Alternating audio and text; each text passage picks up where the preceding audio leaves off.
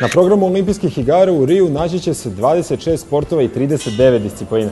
A prvi put u takmičarskom delu gledat ćemo golf i ragbi. E, trenutno Srbija ima 73 sportista koji će se takmičiti na olimpijskim igrama u Riju. Postoji mogućnost da još njih 30 obezbedi olimpijsku vizu. U 11 sportova. Takmičari koji su obezbedili vizu za Rio maksimalno su posvećeni pripremama, ali se rado odazivaju svim akcijama koje promovišu sport i olimpijske vrednosti.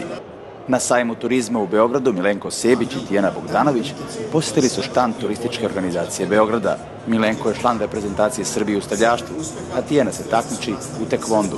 Sport je veoma bitan. Mi kao sportisti se trudimo da promovišemo sport na najbolji mogući način, a to je s našim rezultatima i našim uspesima. Dosta ljudi u celom svetu znaju za sportiste Srbije, svi kažu, svi nam baš kažu na takmičenjima kako tako mala, mala zemlja, a ima tako izvaredne rezultate.